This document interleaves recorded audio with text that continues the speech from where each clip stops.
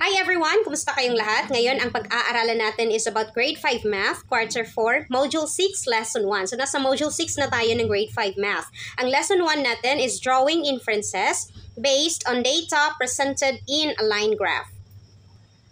Ano yung inference? Inference is an intelligent guess. Kapag nag-guess ka, is nakabase siya sa fact or sa given data, kaya tinatawag siyang intelligent guess. So, paano tayo mag-draw ng inferences? To draw inferences, it is important to first observe the part of the graph. So, i-observe mo muna yung graph.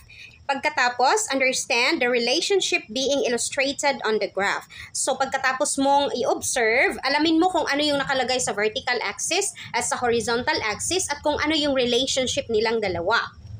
And then third, make prediction based on the described situation presented by the data on the graph. So mag-predict ka na or mag-guess ka na base sa data na nakita mo sa graph.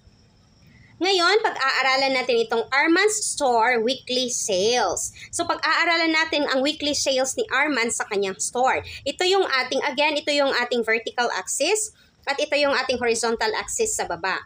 Ang nakalagay sa ating vertical axis, i-observe muna natin siya. So, ang nakalagay sa kanya is ang amount of sales. So, meron tayong 2,000, 2,500 to 5,000. And then dito naman sa horizontal axis, ang nakalagay is days of the week. So meron tayong Monday, Tuesday, Wednesday, Thursday, Friday, Saturday, Sunday. So titingnan natin ang ating graph. Meron tayo ditong Monday. Ang Monday natin is nasa 2,500. Ang Tuesday is nasa 3,000.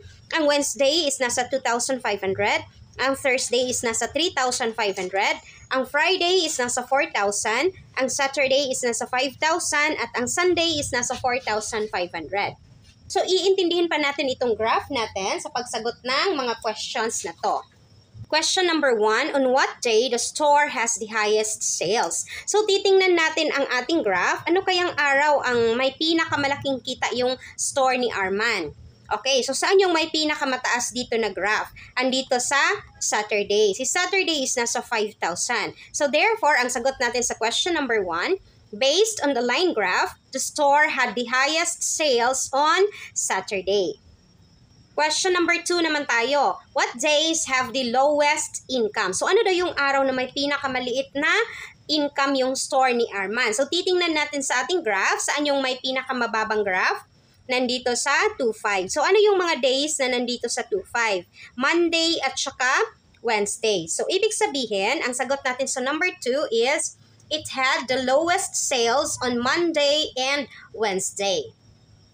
Question number 3. What was the sales on Thursday? Okay, so titingnan ulit natin ang ating graph. Ano yung sales ng store ni Arman sa Thursday? So, saan ba yung Thursday natin? Nandito. So, ang sales niya is 3,500. So, ang sagot natin sa number 4, on Thursday, its sales was 3,500 pesos.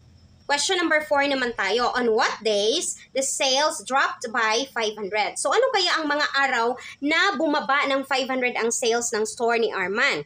So, titingnan natin dito. So, Monday, 2,500 ang kanyang sales. Pagkatapos, pagka Tuesday, naging 3,000. So, ibig sabihin, tumaas siya. Galing sa Tuesday papunta sa Wednesday, so from 3,000 naging 2,500. So bumaba siya ng 500. Ngayon naman sa Wednesday to Thursday, from 2,500 to 3,500, tumaas siya. Pagka Friday, from 3,500 to 4,000, tumaas naman. Sa Saturday naman, from 4,000 to 5,000, tumaas din siya. And then sa Sunday, from Saturday to Sunday. So, ang Saturday natin is 5,000 pagkatapos bumaba siya sa 4,500. So, ibig sabihin, ang mga araw na bumaba ng 500 ang sales sa store ni Arman is Wednesday and Sunday. So, ang sagot natin, the sales dropped by 500 on Wednesday and Sunday. Question number 5, how do you describe the sales on Thursday to Saturday? So, paano mo i-describe ang sales from Thursday to Saturday? So, titingnan natin ang sales ni Arman from Thursday to Saturday. So, nandito ang ating Thursday. From Thursday is 3,500. Sa Friday, naging 4,000. Sa Saturday, naging 5,000. So, ano kaya ang napansin natin? From Thursday to Saturday, ang sales ni Arman is, ano, increasing. So, pataas yung kanyang sales from Thursday to Saturday. So, ang sagot natin, based on the line graph, the sales from Thursday to Saturday was increasing. Question number six. If the trend of income continues, how much the owner of the store will earn after one month? So kapag nag-continue ang trend ng kanyang income, magkano kaya ang kita ni Arman in one month? Okay. So ang gagawin natin is i-total natin ang income ni Arman sa loob ng one week. So ano ba yung mga sales ni Arman? So, meron tayo ditong Monday, 2,500. Ang Tuesday, 3,000. Ang Wednesday, 2,500. Ang Thursday, 3,500. Ang Friday, 4,000. Ang Saturday, 5,000. Ang Sunday is 4,500. So, ngayon, i-add natin siya para malaman natin kung magkano yung kita niya in one week. So, 0, lahat dito is 0 and then 0. So 5 plus 0 equals 5 plus 5 equals 10 plus 5 equals 15 plus 0 plus 0 equals 15 plus 5 is equal to 20. Bring down 0, carry 2. Okay, so 2 plus 2 equals 4 plus 3 equals 7 plus 2 equals 9 plus 3 equals 12 plus 4 equals 16 plus 5 equals 21 and plus 4 equals 25. Okay, so 1, 2, 3. So, ibig sabihin, ang sales ni Arman in one week is 25,000. So, 25,000 ang kanyang nabenta sa isang week. Ngayon, sa isang buwan is meron tayong 4 weeks. So, ang gagawin natin, si 25,000 is i-multiply natin siya 4. Kasi 4 weeks meron sa isang buwan. Para malaman natin or makita natin or makagawa tayo ng inference kung magkano kaya ang kikitain niya sa loob ng isang buwan base sa ating graph. So, 4 times 0 equals 0, 4 times 0 equals 0, 0, and then 4 times 5 is equal to 20, carry 2, 4 times 2 equals 8, plus 2 is equal to 10.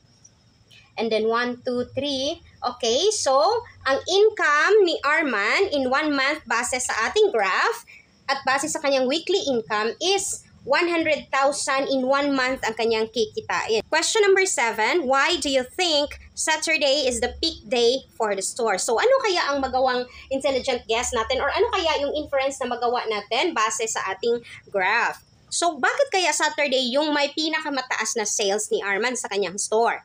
So marami tayong pwedeng sagot. It's either uh, pwedeng maging kasi free days ng mga workers or walang pasok yung mga workers so maraming bumibili and then or market day nila, kaya maraming bumibili. Pagkatapos walang klase, so maraming bumibili na bata sa kanilang tindahan kasi nasa bahay-bahay lang. So pwedeng mga ganon yung possible nating magawa na inference.